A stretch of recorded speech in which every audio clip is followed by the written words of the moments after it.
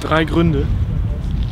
Erstens, einen 77 Jahre alten Mann steckt man nicht mehr in ein überfülltes italienisches Gefängnis. Zweitens, Uli Hoeneß ist schon ins Gefängnis gegangen. Einer reicht. Drittens, ab September muss er Wetten das moderieren. Bankenunion? Das klingt furchtbar langweilig und scheiße. Nennen wir es Silvi van der Vaart. Silvi van der Vaart überwacht die Banken in jedem Land die drei größten Banken. Das heißt, sie fliegt die ganze Zeit hin und her. Silvi van der Vaart, äh, Jet Set, in jeder großen Stadt Europas unterwegs. Das ist genau ihr Leben.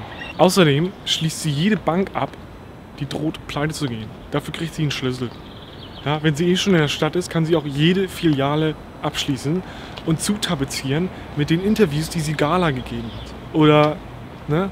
Und drittens schenkt sie jedem Land ein Sparschwein, damit es einen Groschen für den Notfall hat, weil Schweine kennt Silvi genug.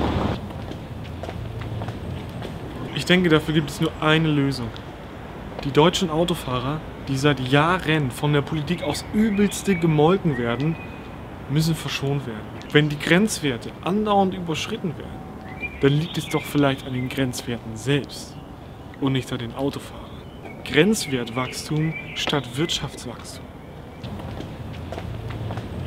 Des Metermützes Mischgemüsepartei die Bürger zur Europawahl radikalisiert.